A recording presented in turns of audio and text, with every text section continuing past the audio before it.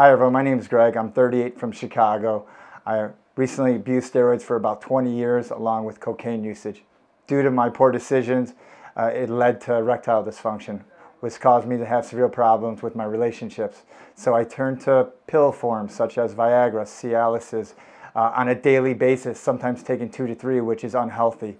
Uh, so I wanted to find an alternate solution, which ended up being CaverStem that I came across on Facebook. I did some research on it. It was a stem cell procedure. It seemed amazing. So I booked an appointment, guys. I flew out to Orlando. I was a little bit nervous, but the docs talked to me and it ended up being a very simple 20 minute procedure, pain free, which made me ecstatic. And I'm walking out of here with a smile and on my way back to Chicago, guys.